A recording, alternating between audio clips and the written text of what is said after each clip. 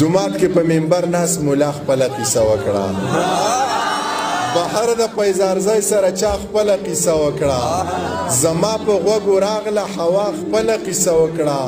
زه غلی پاتې نشوم جمعه خپل قصه وکړه ولګ واوره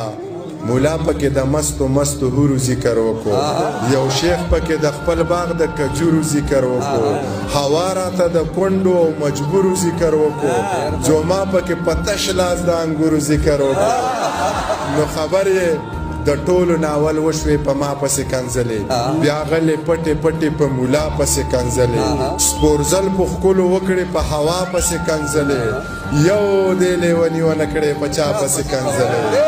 نو ته ګوره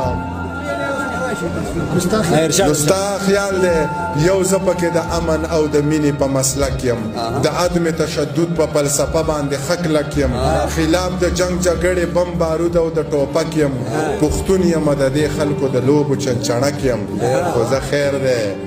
زما به په رګونو کې سړه وینه وچیږي دا زړه به مې یو وارې بغاوت ته تیارېږي دا ژبه به اوس دغسې رښتیا رښتیا غږېږي که څوک پې خفه کیږي او که څوک پې خوشحالېږي زه نور په خپلو غوښو پردي سپي نشم ساتلی او دا ځینې بې ضمیره بیا بیخي نشم ساتلی خپلو وسایلو ستا بچی نشم ساتلی بس نور سپورې کرښې په تندي نشم ساتلی ژوند څه د ماتو بنګړو بار دی